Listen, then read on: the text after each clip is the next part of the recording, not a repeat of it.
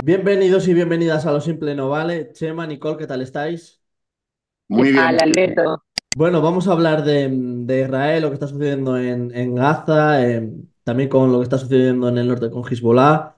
Eh, Chema, voy a empezar por ti. ¿Qué te parece la situación actual? Y además que parece que cada vez hay más tensión con Hezbollah que, que no para de lanzar bombardeos todos los días. Pues sí, eh, la verdad es que Hezbollah eh, está atacando diariamente y estamos hablando de eh, centenares de cohetes, decenas de drones y estamos hablando, especialmente los drones son suministrados por Irán, esto no- no hay ninguna duda. Por lo tanto, el actor proxy de, de, Hezbollah eh, pues es Irán, es que es eh, clarísimo, ¿no? Eh, y estamos asistiendo a, a una escalada en el norte que ciertamente es muy, muy, muy preocupante, puesto que Hezbollah no es jamás. Jamás ha podido comportarse de la forma tan salvaje. Ojo, que nunca eh, los ataques de Hamas eran de una determinada manera. Eh, lo del 7 de octubre es una yihadización completa de la conducta de, de Hamas. Eh, hemos asistido a, una metamorfosis dentro de las metodologías de ataque.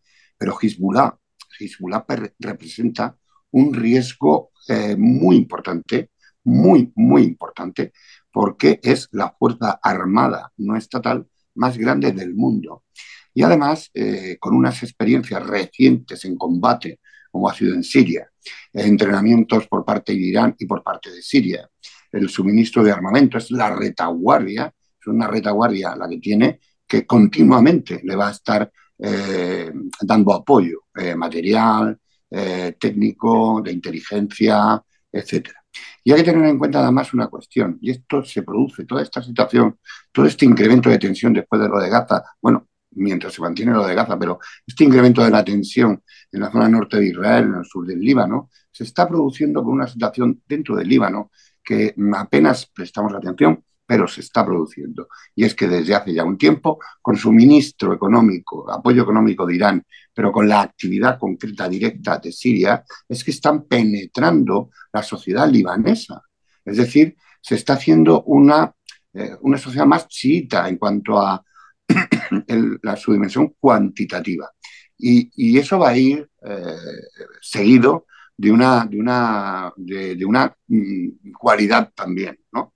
Por lo tanto, hemos de saber que el norte representa, eh, ya representa una zona muy peligrosa, que puede escalar muy rápidamente según se produzcan los ataques y las respuestas de, de, Israel, pero eh, Gaza está por resolver.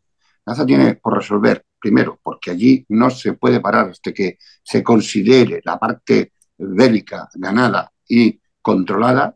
Ya sabemos que las ideas no se acaban con bombas, la idea jamás es algo que se prolongará en el tiempo, pero sí se puede hacer un control operativo, efectivo, etcétera, dentro de la, de la franja de Gaza. Eso tendrá que acabarse algún día. Yo lo que me pregunto es, eh, igual que me preguntaba cuando Occidente, la OTAN y tal ataca a Libia y tal, oiga, ¿hemos pensado lo del día después?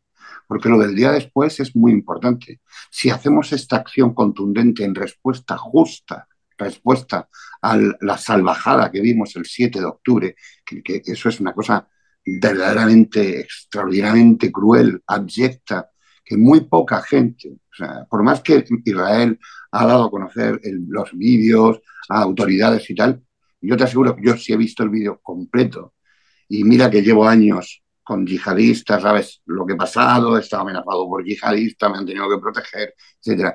Lo que yo vi en ese vídeo, eh, se, me la, se me heló el corazón como tantas otras veces. No he conseguido hacer costra, no se me ha puesto la piel dura a base de ver, eh, de ver eh, las salvajadas de esta gente. Entonces me inquieta mucho lo del norte, sobre todo porque Hezbollah tiene unas capacidades verdaderamente notables, muy, muy notables, porque tienen una retaguardia y tienen unos proxies que van más allá incluso de Irán. Si es proxy Irán y es proxy Siria, eh, no nos olvidemos que el gran protector de Siria es Rusia, y ya, con lo cual eh, empezamos a ver ahí una situación geopolítica muy complicada. Israel debe saber que abrir el frente de manera total y absoluta en el norte sin tener resuelto el día después de Gaza puede ser muy complicado para los, eh, los habitantes de Israel, el pueblo de Israel, que además eh, tiene una situación política interna que quieren aclarar, que ya estaban por aclarar antes de que se produjera esto. Por lo tanto, hay que tener una mirada compleja a algo que es muy complejo y que muchas veces se analiza desde un simplismo absoluto. Por ejemplo, y con esto termino y todo y paso Nicole inmediatamente.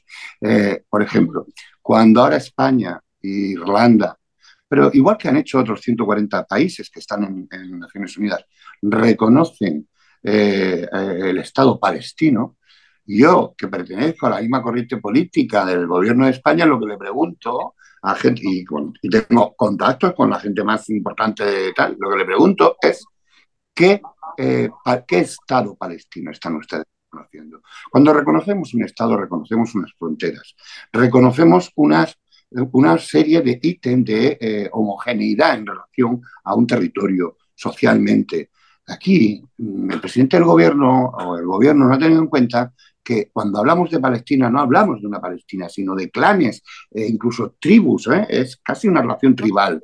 Por lo tanto, eh, yo creo que se hace un reconocimiento como un brindis al sol, que en realidad no reconoce nada, porque hoy, ¿qué es Palestina? Me pregunto. Perdón por este speech largo. De Excelente, no, no tengo nada más que agregar, está todo dicho. Muy bien. Eh, Nicole, tú que estás allí, em, que hemos hablado hace unos días, eh, ¿estás viendo también que cada vez el frente en el norte está peor? Sí, Alberto. Bueno, la explicación que ha dado Chema es impecable. es eh, tal cual toda la situación de lo que representa Hezbollah, el peligro, no tan solo para Israel, sino para la región por ser un proxy de, Irán. Y cada vez es algo muy preocupante en la sociedad israelí, lo siento diariamente, hasta el día de la mañana de hoy, yo les estoy hablando desde, desde aquí, estoy en Tel Aviv y Tel Aviv, Yafo Tel Aviv, está a, digamos, una hora y 45 minutos o dos horas de la frontera con el Líbano. Eh, ¿Qué ciudad de ustedes que están, tú que estás en Zamora y, y Chema que está en Murcia, que haya de, de donde están ustedes a dos horas. Como cuatro, en coche. A, mí está en coche. Dos horas, en coche, dos horas. Eh, eh, pues, por ejemplo, un poquito más arriba de Alicante, o sea, muy poco. Imagínate, Alicante sería Líbano y donde estás tú sería Israel, la ciudad donde estás. Eh, donde, entonces, imagínate lo cercano, y para ti Alicante en dos horas, que perfectamente se puede hacer en coche. imagínate, imagínate el, que de, de Alicante a Murcia, donde estás tú, Chema, este, el peligro de que lancen misiles, pero no uno o dos o tres, sino una lluvia de misiles por parte, como tú bien lo has dicho, de un grupo armado, quizás el de lo más fuerte, no reconocido, digamos, como oficial de un ejército. Entonces, eh, imagínate, ahí vuelvo y repito, la importancia que tiene la defensa de este país desde su creación en 1948 rodeados de este tipo de, enemigos y de estas situaciones tan complejas. Y hoy en día, después de 76 años que ya tiene creado el Estado, eh, en una sociedad moderna, por supuesto, que ha querido avanzar y que se ve eh, sumergido en unas, en, unas continuas guerras, eh, que no ha buscado, porque no las ha buscado, no es que es una sociedad con sus defectos y virtudes que quiere una situación inaceptable. No, eh, quiere simplemente vivir como cualquier otra sociedad que se han intentado muchísimas veces, muchísimas veces la creación de dos estados, tanto el que ya está puesto, que es el israelí, como el palestino. La misma creación en el año 48 era la, era la división de un estado para los judíos y de un estado para los palestinos, pero han sido muchos los rechazos, las condiciones, los absurdos que han habido alrededor, de los cuales no eh, tocar cada punto es siempre caer en ese, en ese mismo vicio de, del por qué. Lo que hay que trabajar y quizás tener esos métodos tan coaching como se hace en la misma vida eh, personal es qué hay ahora y dónde podemos ir, eh, qué camino hemos, que tenemos hasta ahora hecho y dónde podemos ir para realmente construir una, una, una zona en el mundo, en esta zona que es Medio Oriente, distinta porque el conflicto sin duda no se queda en, entre el palestino israelí, sino en Medio Oriente y en, la, y en, el mundo entero, es un eh, reflejo de, de las, mm, los avances y los retrocesos en, en, lo que es la geopolítica mundial, porque mm. sin duda alguna que la situación en, eh, aquí influya en el todopoderoso Estados Unidos quiere decir la gran importancia que tiene esta situación para la geopolítica mundial. Y tú muy bien lo estabas diciendo, lo que ha sucedido en Israel es algo atroz. Estabas comentando que habías visto la, película de los 40 minutos. Eh, es, una, es algo que no tan solo ya compete a un dolor para esta sociedad israelí, sino un y tampoco eh, compete únicamente para un dolor en lo que es el mundo judío, porque todo lo que tiene que ver con Israel eh, se refleja en lo que es el mundo judío, sino es la humanidad. O sea, que el terrorismo utilice métodos tan, tan inhumanos para combatir, para implantar una ideología, eso tiene que preocuparle al mundo entero, eso le tiene, eso le tiene que eh, preocupar a España, sea el gobierno del PP, sea el gobierno del PSOE, sea el gobierno de Vox, sea el gobierno de, de, de, cual sea que esté, tiene que preocuparle, porque estoy segurísima que ellos no quisieran tener otro Atocha, en, en, España, no quisieran tener en Estados Unidos otro 11 de septiembre. O sea, ningún país en el mundo quiere tener la extrema yihadista dentro de su sociedad, dentro de eh, las células de ese mal dentro de su sociedad y que perjudicara. Entonces, la lucha que tiene Israel no es contra los palestinos, no es contra Gaza como ciudadanía, es contra un grupo terrorista que realmente ha utilizado métodos que van más allá de la misma imaginación maquiavélica. Ayer, por ejemplo, cumplimos nueve meses, nueve meses de esta guerra. Y ayer estaba dando un discurso la mamá de Daniela, Daniela es una de las secuestradas, de las 19 mujeres todavía que chicas jóvenes, que sigue secuestrada.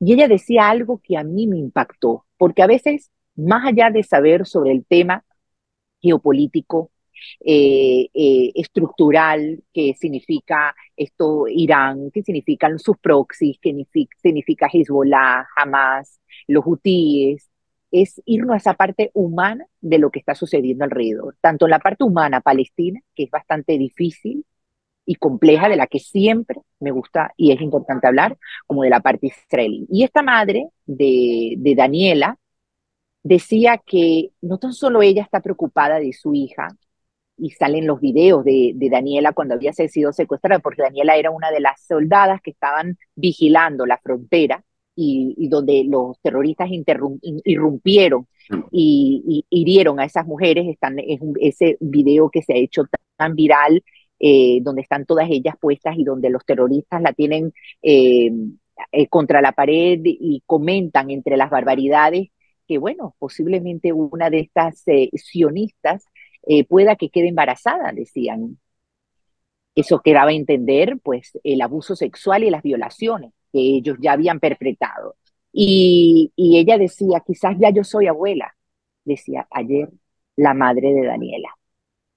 Y estamos hablando de que el terrorismo ha utilizado el embarazo, la gestación como medio, método de guerra, de mm. arma de guerra. Imagínense usted hasta dónde puede llegar la condición humana, valga, la, valga el concepto de Hannah Arendt, hasta dónde puede llegar la condición humana de utilizar el abuso sexual y, la gestación eh, tan protegida y tan eh, respetada de cualquier mujer en el mundo para mm, herir a un pueblo, para herir a una sociedad, la israelí y la judía. Y ahí es donde yo me pregunto, España y cualquiera de nuestros países hispanohablantes que son obviamente los que nos, los que nos entienden en este, e, en, este diálogo, eh, como eh, ahí estamos, ¿cómo es posible, cómo es posible que, que, no entiendan la real defensa que se debe tener es a una sociedad y, estas, y, se llama la sociedad israelí y la sociedad civil palestina, no el terrorismo de Hamas, dividir a Hamas de lo que es, la, lo que es el pueblo y la causa palestina. Entonces se han ido con las banderas a defender una causa en, las universidades, en, eh, en cualquier parte del mundo, y no han sabido dividir realmente lo que significa una sociedad digna palestina que obviamente debe de tener en algún momento su Estado y dirigentes normales y aptos realmente para el avance de la sociedad, como tienen que haber una sociedad normal israelí, un pueblo que ha estado eh, en, una gran disyuntiva por años de años y que bíblicamente pues tenía sus tierras aquí en Israel. Entonces, es, es, eso es lo que deben los medios a través de las redes sociales y de todos los lugares donde se transmite la información, hacer entender que debe de existir un Estado palestino y un Estado judío, como ya existe ahora, pero fuera del yihadismo terrorista. Y que en estos momentos apoyar y sacar una bandera y apoyar eh, Palestina como, como causa en, en su bandera y en sus colores, en estos momentos, lamentablemente, es apoyar el terrorismo. Pues sí, Nicole, porque además hay que, hay que tener en cuenta que yo lo que veo cuando entrevistan a la gente joven, sobre todo y tal, bueno, y mayor, eh, en estas manifestaciones es es que no saben. Eh, yo creo que algunos no saben ubicar ni siquiera. Eh, yo estudiaba de pequeño geografía y para examinarte te ponían un mapa mudo, es decir, era el mapa y tú tenías que ir colocando los países, las, regiones, ¿no? Yo creo que ahora ya ni enseñan eso y ya está, porque algunos no saben ni ubicar. Es que no saben ni siquiera que, eh, por ejemplo, dentro de Palestina a, a los gays se les precipita desde las alturas y se les arrastra, se les apedrea y demás. Y ahora que eran las marchas del orgullo en, Madrid, veían banderas palestinas, mm, no sé, no sé a cuento de qué, porque además estoy seguro que no saben que si ellos mismos salen allí por Palestina vestidos así, son colgados, son colgados, son asesinados de la manera más cruel, la más abyecta. Eh, en cualquier caso, luego además veo cuando oigo hablar a los políticos, hablan de una Palestina como si fuera un todo homogéneo. Hay un desconocimiento de que hay unos orígenes que son lo que impiden que se genere el Estado palestino. Y trata de imputarse eso a Israel cuando no es así. Cuando en el 47 se dice ya lo de los dos estados y en el 48 surge el Estado de Israel, Israel eh, está aprobando los dos estados. Israel reconoce esos dos estados. ¿Qué ocurre? Que en el año 48, con, con Ben Gurión y con unos políticos verdaderamente extraordinarios, eh, eh, todos, eh, estoy pensando en Golda Meir, estoy pensando en, el propio Ben Gurión, estoy pensando en gente tan brillante, aunque luego tuviera algún final un poco más eso, como Moshe Dayan, etc. hay, que saber, hay que saber quiénes estaban dirigiendo Israel, un, un país recién creado, un Estado recién creado, que en el mismo año 48, al, al, día siguiente de la creación del Estado de Israel, eh, lo que hacen los países que rodean eh, a Israel, lo que hacen los países musulmanes que rodean a Israel, no es solamente intentar tirar al mar, es decir, aniquilar, continuar con lo que el Mufti había pactado con Hitler, entre otras cosas, en la Segunda Guerra Mundial. No intentan eso. Lo que están haciendo es no crear el Estado de Palestina, porque debieron contribuir a la creación del Estado de Palestina. Y es en ese momento cuando tendría que haberse bajado un Estado de Palestina. Y, ser conscientes de que Palestina está eh, conformada por clanes, por, eh, eh, por grupos tribales incluso. Y todo ese poder cada, cada jefe de cada clan tiene un margen de poder y, y, una forma de actuar y una teleología, es decir, un objetivo final. Entonces, ¿qué, nos, qué, qué ocurre? Pues debemos entender primero que en el año 48, cuando se crea el Estado de Israel, después de la aprobación del 47, se crea con, mm, con, el presupuesto de los dos estados, aceptados por Israel. Pues claro que sí. Si además, es que si no lo hubiera aceptado, no hubiera salido esa resolución de Naciones Unidas. completamente, completamente, completamente, exactamente. No podemos estar diciendo tal. Y claro, luego van pasando los años y estamos hablando de guerras, guerras que, como muy bien ha dicho Nicole, nunca fueron emprendidas por Israel. Cuando se habla, por ejemplo, de los altos del Golán, hay que decirle a la gente qué son los altos del Golán. Los altos del Golán es desde donde se nutren los ríos que pasan allí, nutren el mar de Galilea, que es desde donde bebe eh, el agua potable y sobrevive, eh, se puede beber eh, en Israel.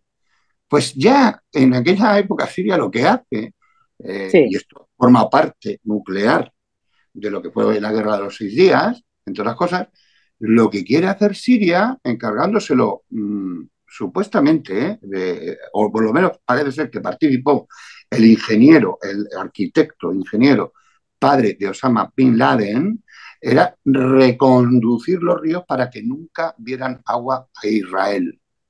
Cuando en esa guerra de seis días, eh, protegiendo Israel los intereses, por supuesto, la supervivencia del Estado y de sus ciudadanos, lo que hace es tomar los altos del Golán.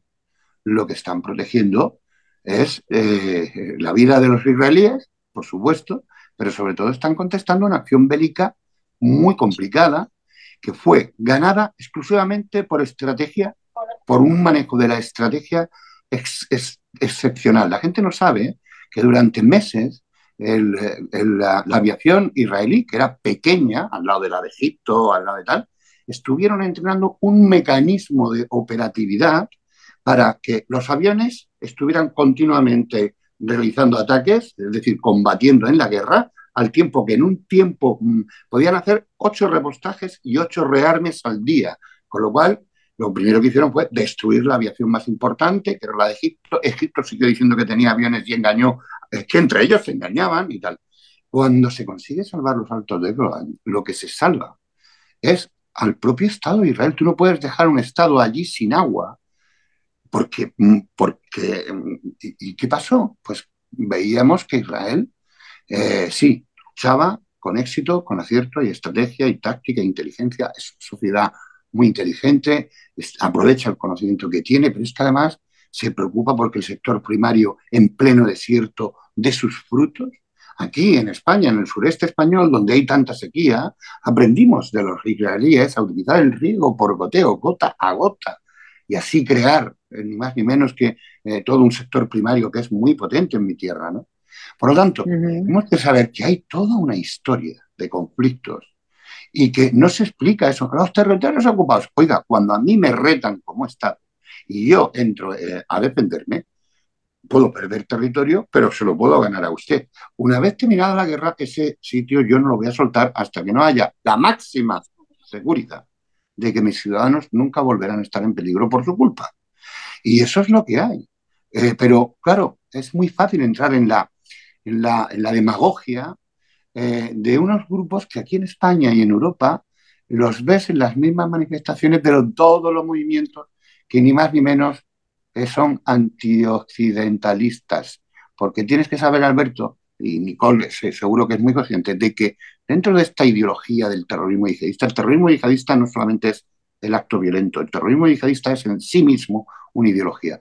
Dentro de esa ideología juega mucho más el aspecto antioccidentalista que el puro eh, hecho religioso, porque ellos se dan una pátina de religiosidad para parecer nobles, cuando en realidad son puros, eh, son eh, individuos, como decía el rey Abdalá de Jordania eh, hace un par de años en el Parlamento Europeo.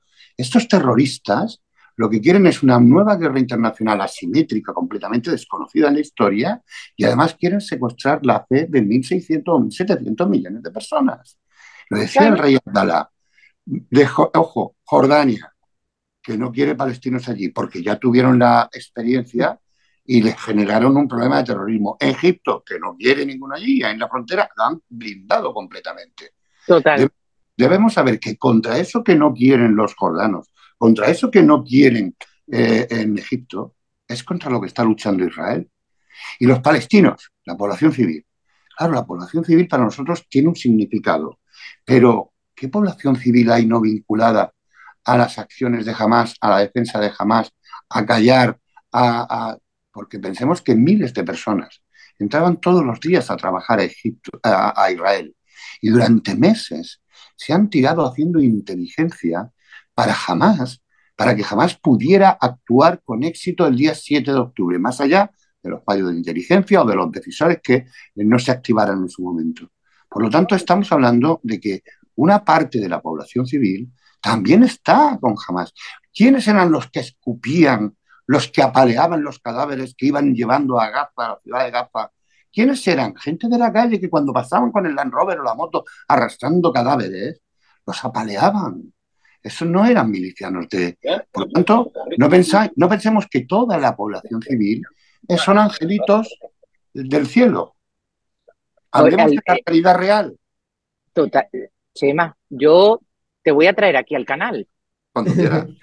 no, la verdad, la verdad. Y, te digo una cosa. Eh, mm. eh, no tan solo decir que es tan perfecto tu, tu discurso. Y, y, no porque, como te explico, lleves, em, no estoy haciéndolo porque sea a favor de Israel. Tú no estás hablando a favor de Israel, Chema. Tú estás hablando a favor del lado correcto de la historia de la humanidad. Así es. ¿Me entiendes? Porque no, eh, completamente es, es impecable eh, en, la parte geopolítica, en la parte, en todo lo que tiene que ver con la realidad del conflicto, con todo lo que, lo que ha sucedido a lo largo de los años desde la creación del Estado, pero no es tan solo del Estado, sino que la historia de los pueblos se trata del lado correcto y del lado incorrecto de, de, de cada nación.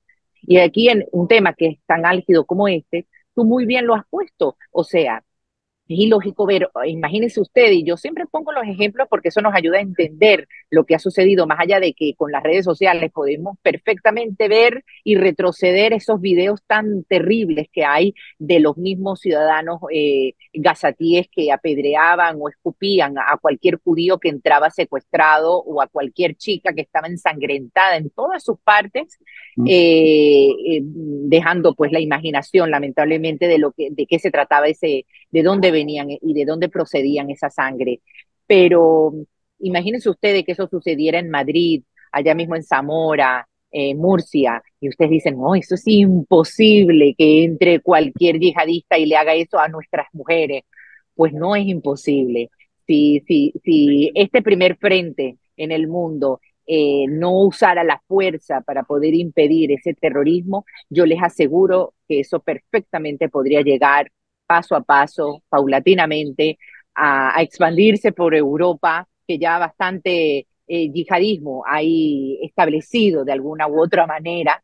Y, bueno, Latinoamérica, aunque que Latinoamérica es otro tema, porque en Latinoamérica ellos ya han hecho sus cimientos, obviamente, Venezuela, eh, ahí está mm, los países, el, el, el, eh, Paraguay, en ese, en Ciudad del Este, Bolivia, Nicaragua, es la triple frontera, o sea, estamos hablando de que ya ellos inteligentemente han sabido introducirse, bueno, Cuba, obviamente, todo eso, entonces eh, es algo que está muy bien todo lo que has puesto porque es una preocupación que debe de haber en la humanidad. Si nosotros queremos realmente preocuparnos eh, por lo que va a pasar a futuro, tenemos que ver este presente. Y este presente se trata entre los distintos conflictos que hay, porque otra historia obviamente es el tema de Ucrania y Rusia y cada el, el tema de Corea del Norte, las amenazas que hay. Aquí se trata de Irán, se trata de Irán. Ahora vamos a ver qué pasa con el nuevo presidente, que es un reformista, que puede, eh, siempre las nuevas tendencias no, nos traen quizás nueva esperanza. Vamos a ver qué pasa. No, no, no es que haya esperanza aquí, ninguna esperanza, pero vamos a ver qué suceden, porque cambios son cambios, ¿no? Dentro de todo.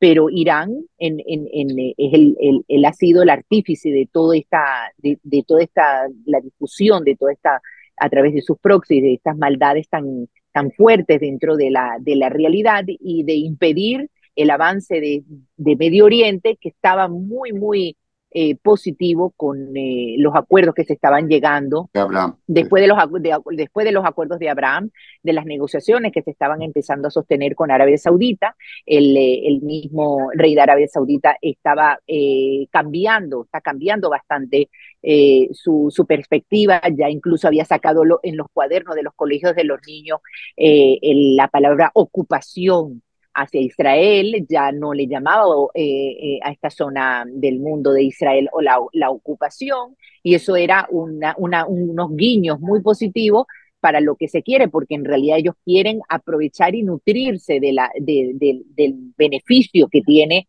a nivel de innovación este país y de crear en Medio Oriente, no tan solo la gran Medio Oriente, sino la segunda Europa, que es lo que él quería. Él quiere hacer de esta zona del mundo la segunda Europa y es la necesidad de comprender que ellos, por eso mismo, ellos nunca han estado Arabia Saudita. ¿Dónde está Arabia Saudita? Como dices tú, ¿dónde está eh, Egipto? ¿Dónde está Jordania para defender los palestinos? No están, porque ellos saben perfectamente qué hay dentro, qué hay adentro y qué, qué se mueve adentro. Entonces, ojalá eso, eso lo comprendieran realmente los líderes mundiales, lo comprendieran en España el presidente Sánchez.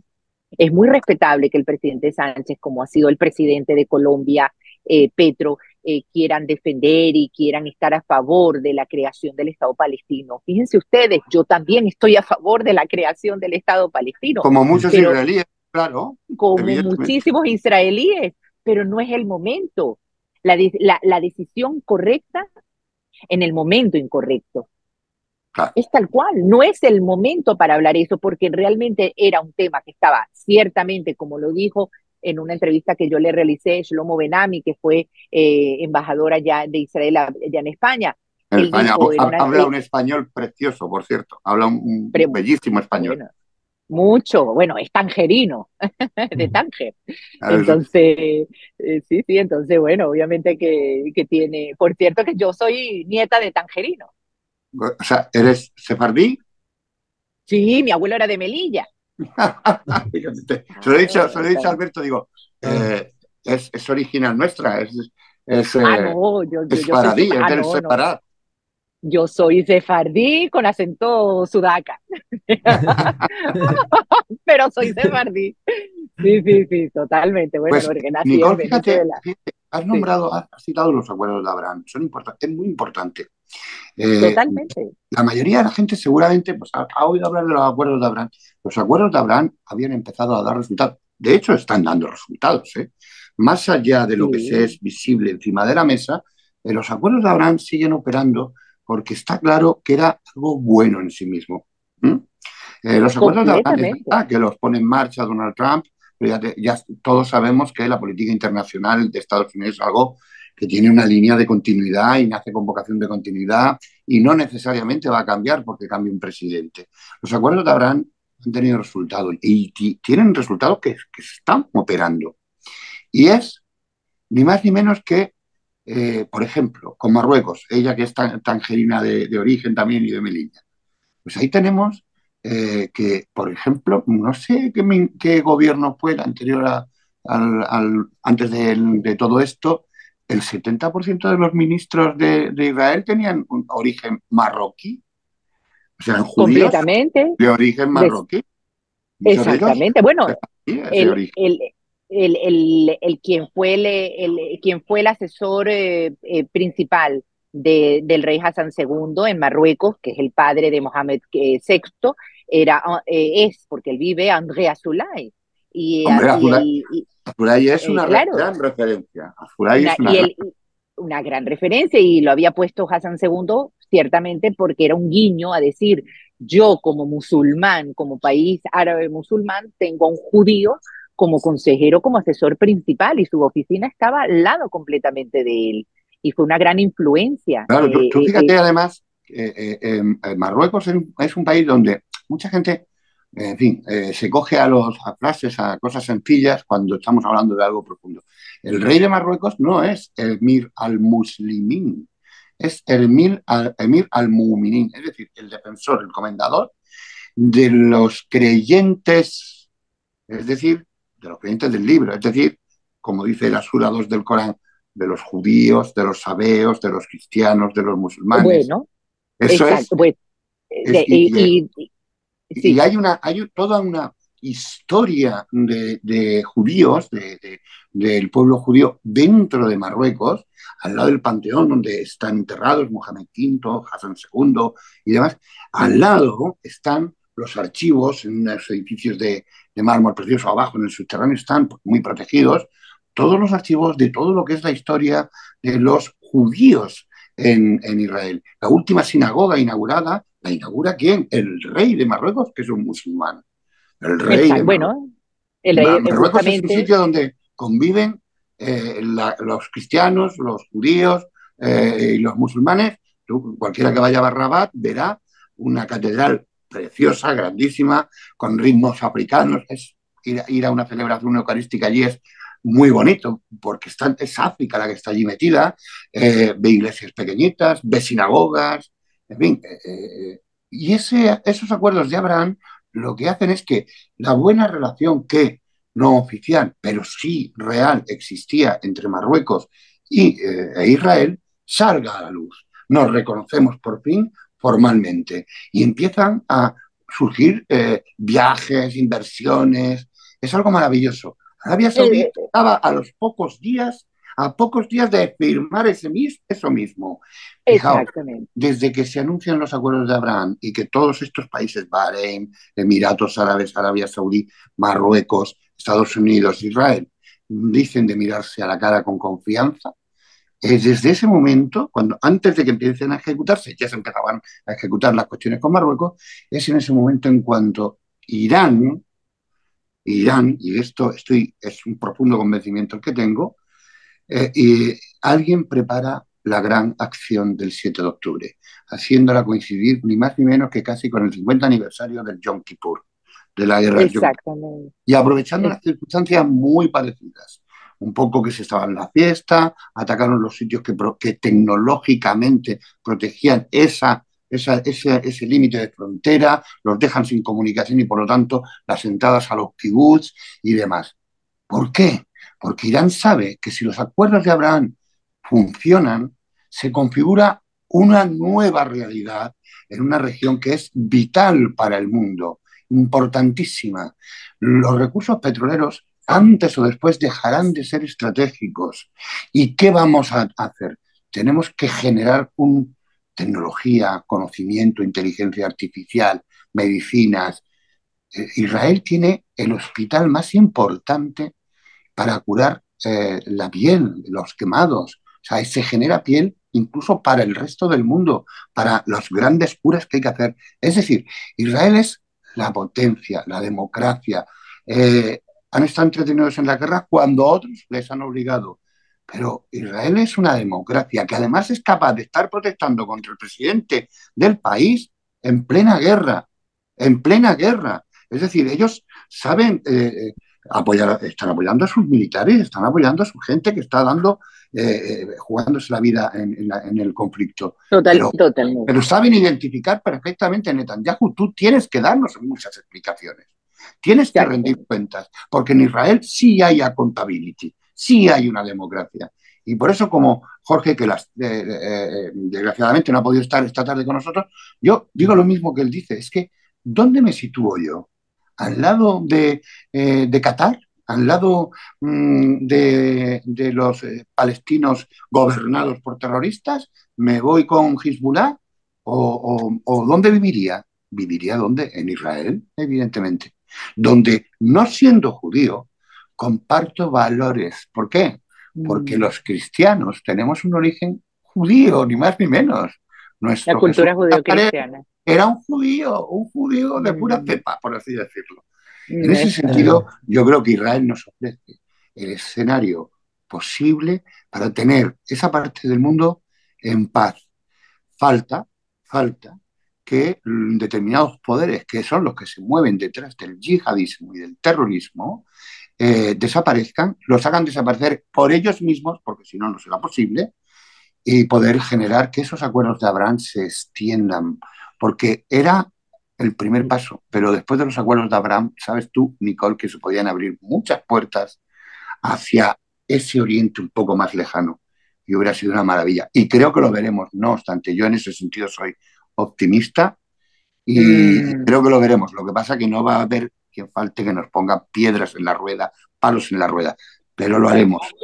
Nuestra medida de tiempo eh, Nicole, si quieres cerrar tú ya con algo. No, es que la verdad, de, con Chema es imposible.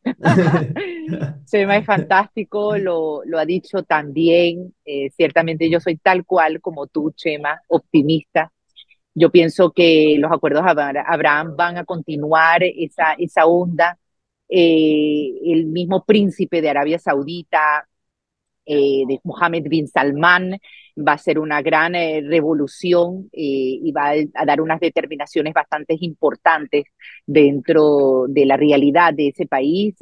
tienen el objetivo de transformar la economía que depende exclusivamente, como lo bien dijiste tú, Chema, del petróleo y quieren crear eh, realmente eh, una vía de salvación para ello con respecto a la, a la misma tecnología y a la innovación. Ellos están conscientes de la importancia que eso tiene en la realidad actual y que Israel la lidera. O sea, eso fue uno de los grandes mm, herencias que nos dejó Shimon Pérez.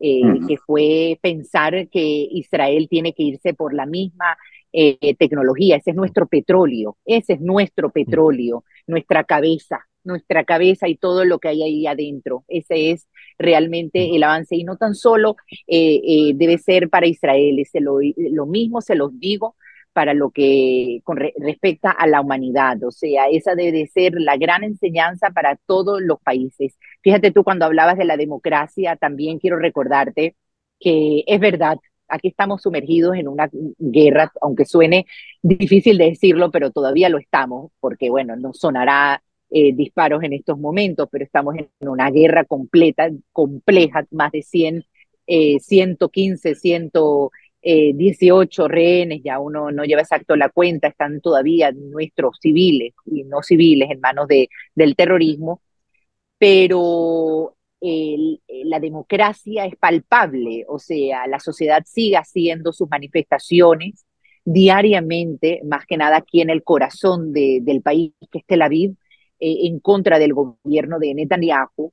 Y eso me hace recordar a cómo fue el mismo David Ben Gurión cuando inició Israel, cuando se inició Israel en el año 48 con los Palmaj, o sea, como él, con toda la complejidad que era recibir eh, un país que, que les dieron los, británicos, eh, ah. este, eh, no les dieron eh, esta Sir, ahora no me acuerdo el nombre de él, que era un, un importante militar británico.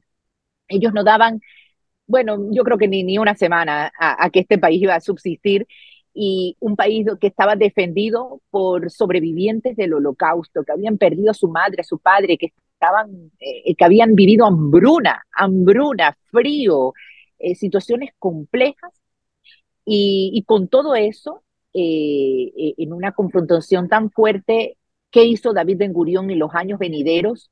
Él pensó que era importante crear un solo ejército. ¿Y qué hizo? Confrontar la misma sociedad, los mismos israelíes entre sí, para crear eh, con el, eh, no sé si tú lo has visto, lo, has visto en la historia, pero lo que le resumo para crear un solo ejército y, y, en ese momento de confrontaciones, ¿qué hizo él? Llamar a elecciones. Porque ante todo puede estar el país en guerra, puede estar el país en, en, en disputa, pero la democracia ante todo. Y eso tiene Israel y es la única democracia en el Medio Oriente. Y esa única democracia es lo que los países deben defender. No defender a Israel como el Estado judío, sino el, Israel como el Estado donde vive la mayoría, obviamente judía, donde viven musulmanes con las mismas libertades que tengo yo, cristianos, ortodoxos. Aquí viven todos en una completa libertad y es un gran ejemplo para las, las democracias en el mundo y debemos mm. estar en el lado correcto de la historia, en el lado correcto de la historia para poder comprender que no podemos darle a nuestros hijos eh, la defensa de un Estado eh, palestino que en estos momentos se llama Hamas, porque los mismos palestinos eh, con, con, raciocinio comprenden la complejidad en la, que, en la que están. Hoy yo entrevistaba a una representante de una, de una organización de mujeres judías y palestinas eh, íbamos a entrevistar a una mujer palestina, eh, eh, Marwa, que está en, en Ramala. Después se hizo difícil la, la, conexión y fíjate tú que Marwa, ella defiende la coexistencia entre israelíes, entre mujeres israelíes y palestinas. Y cuando ella ha ido muy valientemente eh, voy a tratar de ver cuándo podemos hacer ese reportaje porque hay que ir a Ramala y es toda una, eh, no, es fácil, ¿no? Hacer es un poco complicado, pero lo vamos a realizar y se lo pasaré a Alberto para que lo pueda eh, difundir porque eso va a ser interesante. Mm. Eh, muchas veces los mismos políticos palestinos le han dicho, oye, Marwa, no te olvides, ellas se llaman Organización de Woman of the Sun, las mujeres del sol. Y ella dice, Marwa, no te olvides tus orígenes. Y ella dice, sí, mi origen son mis hijos y es el futuro de ellos. Esos son mis orígenes. O sea, ella no tiene miedo a defender como mujer y por eso digo, ojalá y quien quita que la paz también venga por parte de la liderización de mujeres palestinas y mujeres israelíes. Ese debe ser el, el, legado. Yo solamente te digo una cosa. Eh, le ruego a quienes nos ven eh, que vean una serie que está bien narrada historiográficamente y el personaje.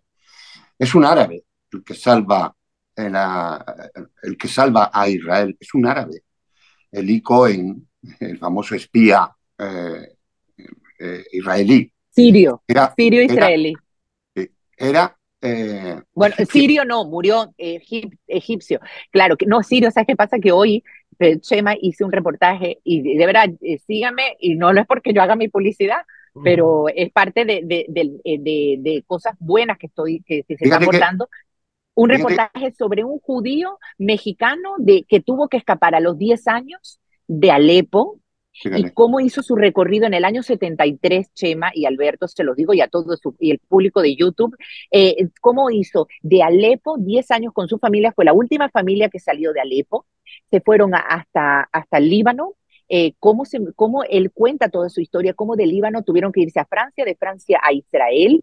Eh, la hermana nace aquí, la llaman Golda porque estaba Golda Meir de primer ministro y en honor a ella, que dio su autorización para que le pusieran el nombre. Y después el padre, año y medio después, en las dificultades que habían en la época, que no es la Israel de hoy en día, decidió irse a México y ahí emprendió una vida donde este señor, Marcos Chacalo, que es el que me dio la entrevista, eh, eh, hizo su vida, bueno, él llegó a México con, con 12 años y ahí desarrolló su vida y hoy en día pues con su acento mexicano y su familia eh, establecida en Ciudad de México, pudo, gracias a Dios, pues vivir. Es lo que te digo, que por eso me hizo recordar el, tema de... El, Eli Cohen era un egipcio judío, un árabe judío, pero cuando se empiezan a, producir pogromos allí, eres el que ayudas a, sacar muchos judíos de Egipto para que pasen a la tierra de Israel, ¿eh?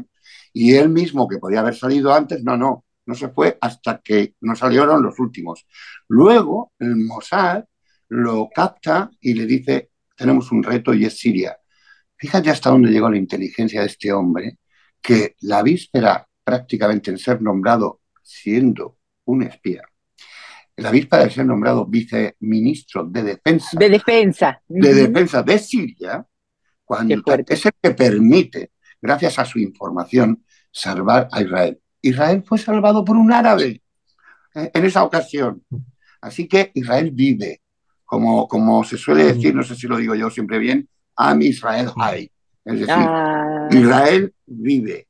Y por eso el brindis, y yo ya con esto termino, el brindis siempre se hace de la misma forma levantando la copa y diciendo Lejaim por la vida.